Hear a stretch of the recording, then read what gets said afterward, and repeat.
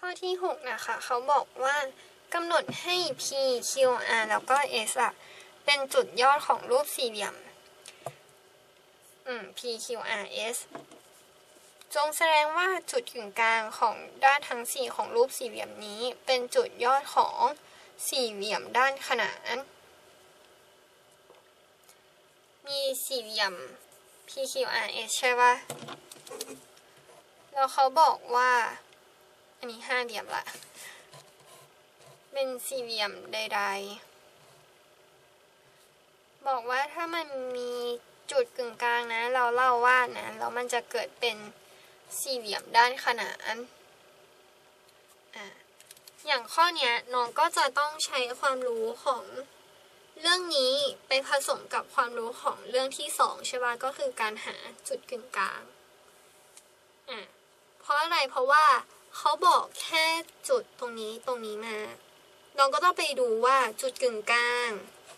ของด้านทั้งสี่ก็คือพวกจุดนี้จุดนี้จุดเนี้ย มันจะเกิด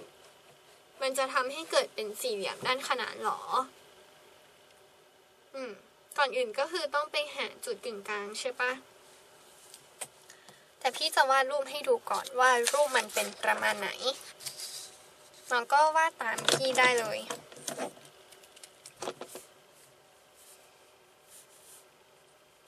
อืมเอาประมาณ นี้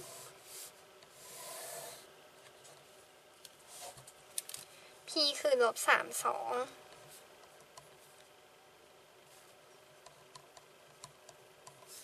q คือหนึ่งหกนี่คือ q เนาะ r คือห้าสี่ห้าแล้วก็สี่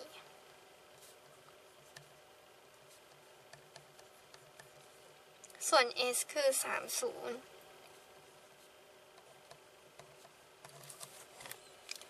ได้สี่จุดละน้องก็ลากให้มันเป็นสี่เหลี่ยม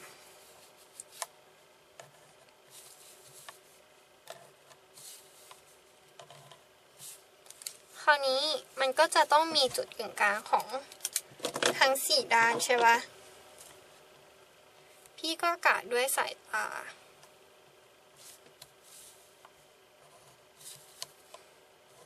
สายตาอาจจะไม่ดีนิดนึง เพราะมันดูไม่เป็นด้านขนาดเท่าไหร่ แทบจะเป็นจัตุรัสแล้วทุกไหมแต่ก็ไม่เป็นไร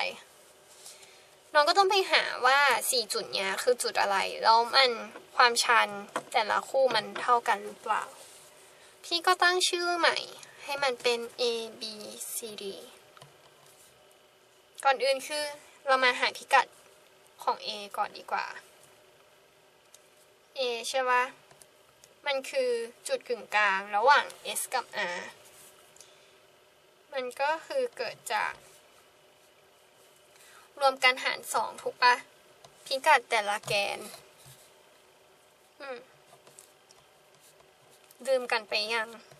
อันนี้คือเรียนยังไม่จบบทนะ อย่าเพิ่งลืมกันนะคะ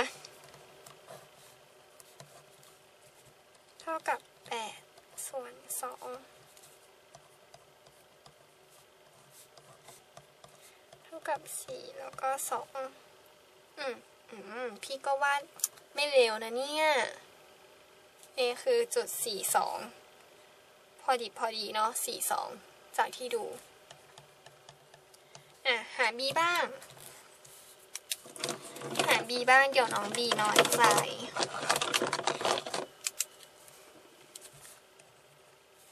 B ก็คือจุดกึ่งกลางระหว่าง R กับ Q น้องก็ เอาพิกัด x รวมกันหารสองพิกัด y รวมกันหารสอง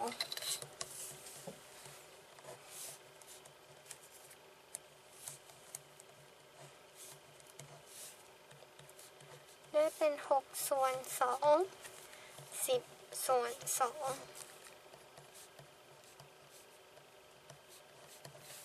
อ่า มีคือจุดสามห้าพอดีเลย อั นนี้พี่ไม่ได้ใช้ไม้บรรทัดนะเนี่ย พอเขียนแล้วมันก็ดูสามห้าจริงๆเนาะก็ต้องฝึกมันต้องฝึกแบบลองลองวาดแบบไม่ได้ใช้ไม้บรรทัดดู เพราะว่าในห้องสอบน้องคงไม่ได้มาใช้ไม้บรรทัด ทุกรูปทุกข้อ คือบางที่เขาก็ไม่ได้ให้เอาไม้บรรทัดเข้าไปสอบเนาะอาหารจุด C บ้าง เอาสองจุดนี้รวมกันหารสอง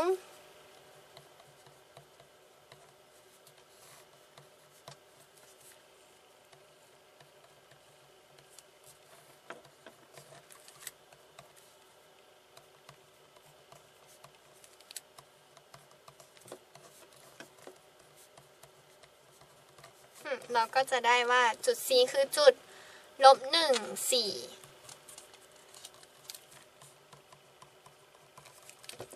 อนนี้ไปหาจุดดีบ้างจุดสุดท้ายละ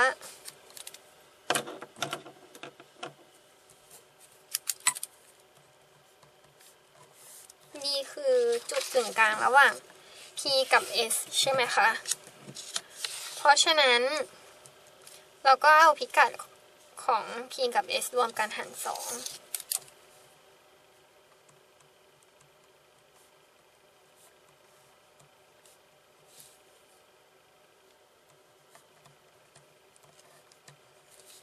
เราก็จะได้ว่า D คือ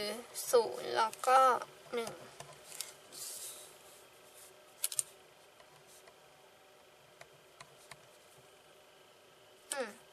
คราวนี้เรารู้4จุดละ เราก็ต้องไปหาความชันของทั้ง4เส้นว่า แต่ละคู่มันเท่ากันหรือเปล่า ก็หาความชันที่หาของ AB ก่อนนะกัน ความชันของ AB ใช่ปะอะ A คือจุด 42 B คือจุด 35 ก็เขียนไปเลยสี่สองสามห้าพี่เอาห้าลบสองส่วนด้วยสามลบสี่ก็จะได้เป็นสามส่วนด้วยลบหนึ่ง เท่ากับลบสามคราวนี้พี่จะหาความชันของ CD บ้างว่าได้ลบสามหรือเปล่า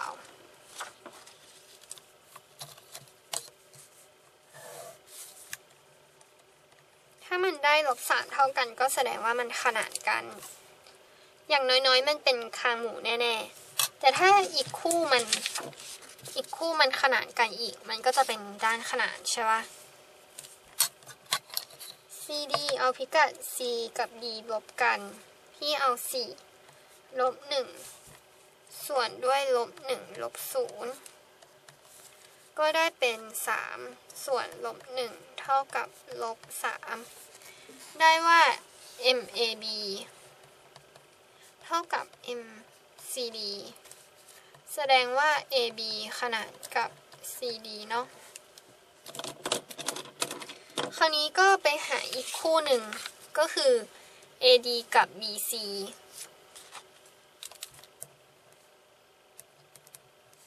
ก็เอาพิกัดมันมา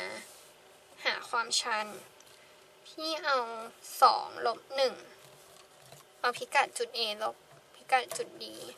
ส่วนด้วย 4 ลบ 0 ก็จะได้เป็น2ลบ1เป็น 1 4ลบ0เป็น 4 แล้วก็หาพิกัดของ CB ถูกปะเพราะเมื่อกี้พี่หา AD ละ พี่มาหา CB บ้าง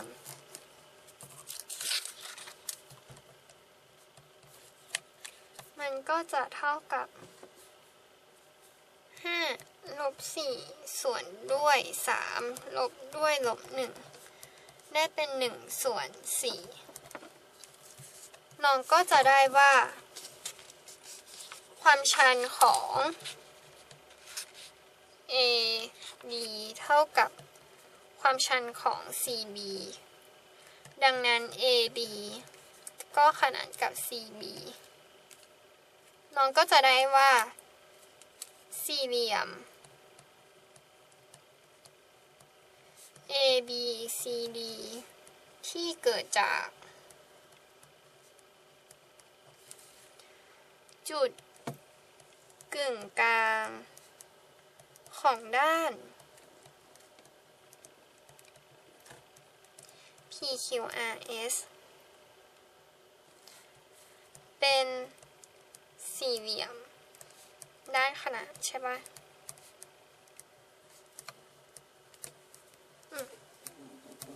ข้อนี้ก็คือเราใช้ความรู้หลายเรื่องหน่อย ก็ใช้ความรู้เรื่องจุดกึ่งกลางในบทแรก ๆ ก็คือบทที่สองมาหาจุดกึ่งกลางของสี่เหลี่ยม แล้วเราก็จะได้สี่เหลี่ยมรูปใหม่ แล้วเราก็ไปพิสูจน์ว่า ด้านที่มันอยู่ตรงข้ามกันอะมันขนานกันหรือเปล่า โดยดูที่ว่าความชันมันเท่ากันไหม แล้วมันต้องเท่ากันเป็นคู่ใช่ปะตึกตึกกับ ตึกตึกก็ไม่ยากเนาะดูจนจบเลยคิดถึงกันใช่ไหม